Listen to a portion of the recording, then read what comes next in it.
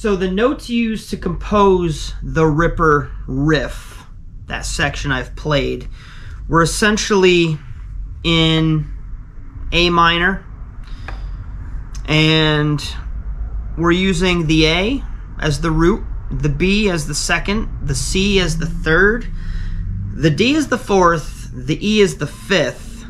There's also an F and an F sharp, so we have a, a natural six and a sharp six, and then a natural seven in the G. So we, we've used almost all the notes of the A minor scale.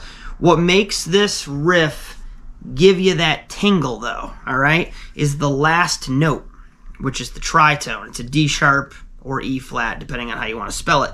I would spell it as an E flat, seeing as how we're in the key of A.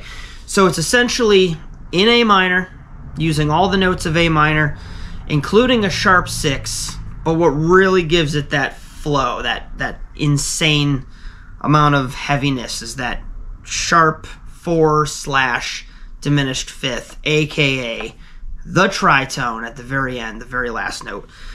One hell of a riff. Never forget when I first heard it.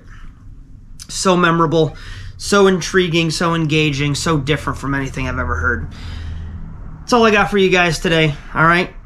Let me know what you want to hear next, what you want to learn about, and we'll go from there. Please like, subscribe, and we'll see you next time.